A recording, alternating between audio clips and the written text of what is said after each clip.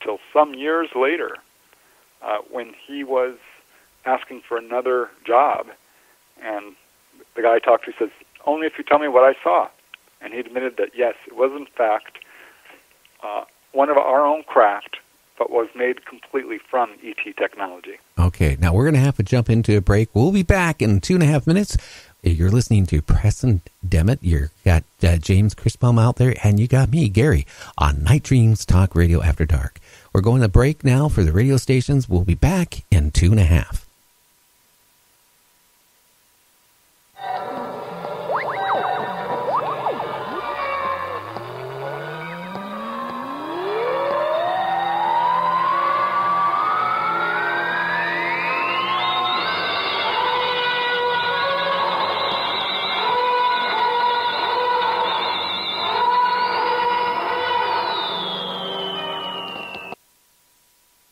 Do you have a paranormal story you want to share on Night Dreams Talk Radio? You could be a guest.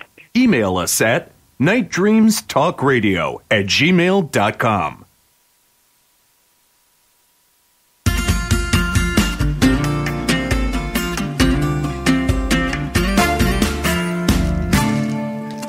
Perde tempo, uma roupa. Porque no fim eu sei que vou tirar. Fala tchau pro seu batom na boca. E fala oi pra quem te faz pirar. Se você já tá com a mesma sensação, pode vir, gente, que eu tô um vulcão. Tá descontrolada toda essa cara. E não para porque a coisa ficou mara.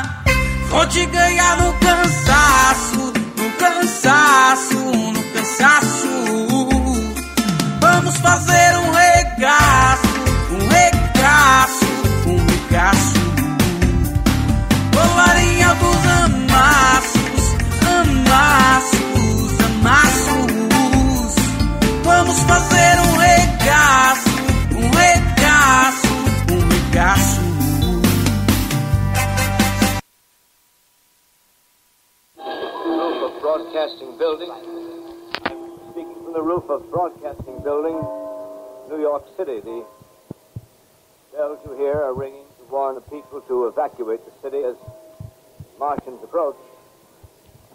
Estimated in the last two hours, three million people have moved out along the roads to the north.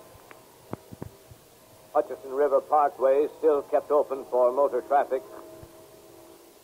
Floyd bridges to Long Island hopelessly jammed. All communication with Jersey Shore closed ten minutes ago. You're listening to my friend Gary Anderson on Night Dreams Talk Radio, the best in paranormal radio. Hey, John, maybe not the best, but we're definitely on the radio with our great guest, Preston Dennett. Hey, Preston, you still there, my friend? Hey, Preston.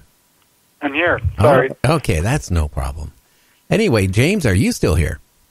I'm still here, my man. Yeah, I was just saying, you know, it seemed like it, the technology on the bombers, uh, you know, and the stealth fighters just took a big jump. You know, it, it, it with, if you look at what we had before, I, you know, when you think of bombers, right, you think of of a B fifty two, which goes back in the fifties technology, you know, which have been upgraded and upgraded, but they're still old, obsolete uh, flying craft.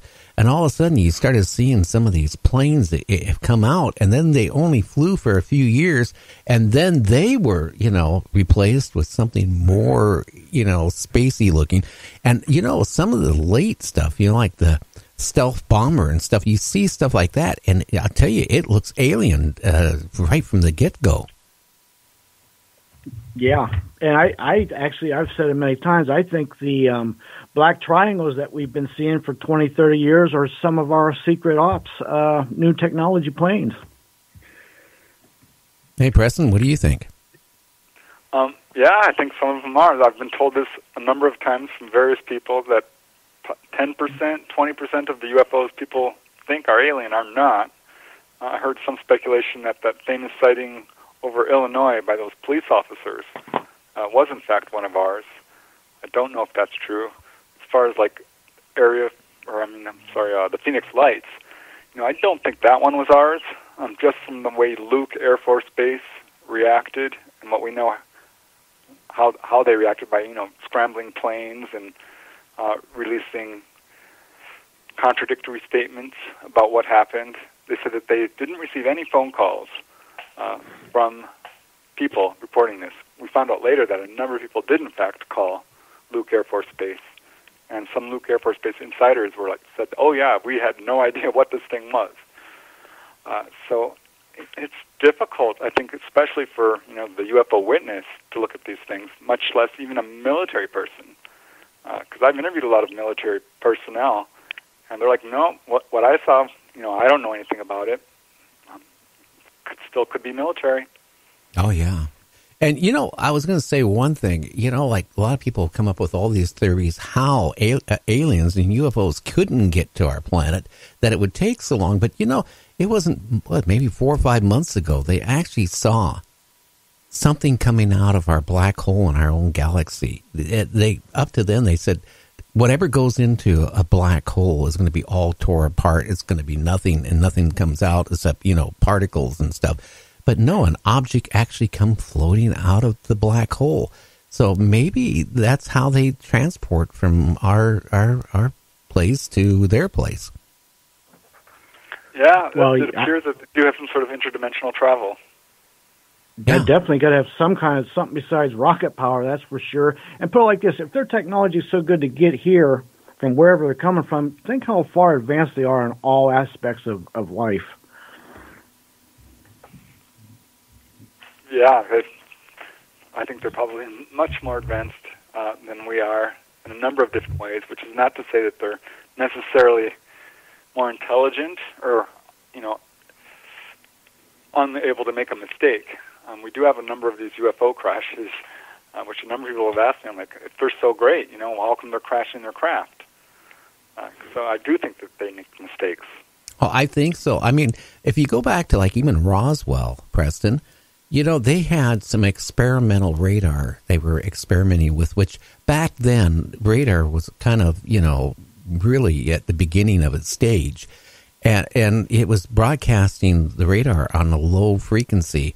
So maybe that caused a UFO, you know, like Roswell and the other location uh, to crash. But, yeah, I, I, I'm thinking right now, Bob Lazar, you know, I remember hearing him on Art Bell show numerous times. His story never, ever changed then, and it hasn't changed now. And it, it, and it, and it shows what the government did to him by trying to discredit him in every which way and form. And that all, to me, makes logical sense how the government works. I totally agree. Yeah, um, I've always thought he uh, was a sincere witness, and of course, you never can tell. You do want to get some sort of corroboration, and uh, they did finally get corroboration that he worked there, uh, and uh, did know some of these people he was talking about. So, I, the whole Area 51 story is so monumental, and uh, the, way, the way this is going to roll out, I don't know. Uh, but you're you're right. I mean, people are very sensitive about this subject. Skeptics become very vehement. Uh, science becomes so, almost a rigid system not allowing new information. I think that's what we're seeing with this UFO situation. Is we have the evidence, we have people who want to talk, we have the money to look into it, but there's this power struggle, and uh, we have the ET technology. There's the whole ET element itself, which seems to be largely orchestrating a lot of this. So I don't know how hey, it's all um, going to roll out. Preston, I want to ask you something. Do you think any of the um, billionaires out there, like a private sector, can can um, start their like own investigation, have their own maybe um, uh, get a crashed uh, UFO and do their own back engineering and do their own thing. You think that's what it's going to take for us to finally ever find something, or you think he would keep it to himself too? Um, yes, to both. um, you know, it's, um, it's my understanding is that a lot of the Earth's treasures are not necessarily in military hands or in museums. They're in private hands. A, a lot of the wealth and a lot of I'm to you know include UFO hardware in there because uh, we're dealing with an element of humanity. You know, these one percenters, you might call them, or uh, people who are, you know, conspiracy. There's a conspiracy, of course. There's a very small element of humanity controlling most of the world, and I think we're seeing that uh, evidence of that. And this is what the whole UFO situation becomes so important. Because yeah, I do think that this, this stuff is in private hands. Um, gosh, what's the guy's that name who just bought the uh, Bigelow ranch up Utah? Yeah, Bigelow. So that, there's a good example. I'm sure he's taking this thing by the horns and trying to get as deep as he can with it. Uh, but how much are we going to hear about it? Well, how much is he going to get his hands into it before all of a sudden he gets threatened by the government one way or another? Or shut down. Yeah, Good point. I still think the subject is going to come out, and you can't stop it. It's a tidal wave. Oh, I think it is. But, you know, six months ago, seven months ago, it was really eh, disclosure. Everybody was talking, it's going to come out in the next couple of weeks, the next couple of weeks. And everybody started doing books and putting stuff out about, you know, disclosure, UFOs. Eh, eh, you know, nothing really came out other than the um, uh, Navy saying that they'll really take seriously reports of, you know, unidentified objects. And a couple, you know, people in the Congress and Senate, you know, try to do some investigation. What I find so strange is the Space Force that supposedly has now been created and actually has got a little bit of funding. Uh, it, it, what what's what is what is it about? Is it to try to cover up what's been going on all these years, or what is going on? I'm really confused because you can't get a straight answer naturally from the government. no, you're not going to get one there, right? Well, that's what NASA stands for. Remember, never a straight answer. this is why I support the uh, Area 51 movement that's going on right now, uh, because I think it's time that this information comes out. Uh, you can't use the excuse that humanity is going to panic, like they did at that War of the Worlds broadcast, which was really designed to scare people and cause them to run in fear and panic. It did a good job of it. Yeah, I mean, people got killed uh, it was a big deal.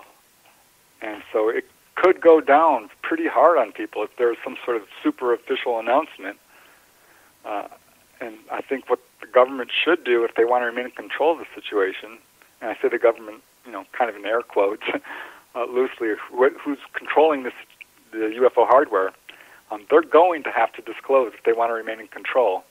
Because if they wait too long, there will be a panic. If a UFO shows up and doesn't go away, or you know someone else is going to do it. Someone else is going to disclose, whether it's the United States or another country. Like Russia?